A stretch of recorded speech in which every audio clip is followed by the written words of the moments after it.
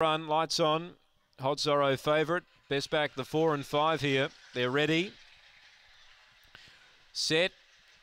Racing, speed the inside. Narimba Pirate burns through, takes the lead. Up to second out deep. Hot Princess right around the outside. Hot Zorro unleashing a paralysing burst. Races to the lead. Uh, Hot Princess second. Three lengths to Resolute Lee. A gap then to Cuddles Lee. Artistic Genius. Narimba Pirate was in front one minute. He's back at the rear now. In front, Hot Zorro does enough. Hot Princess second.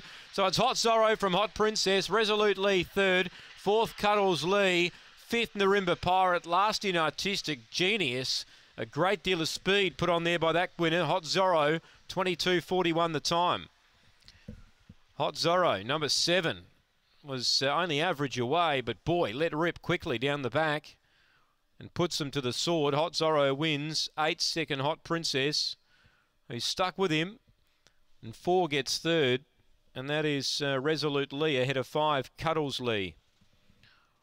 So it's. Uh,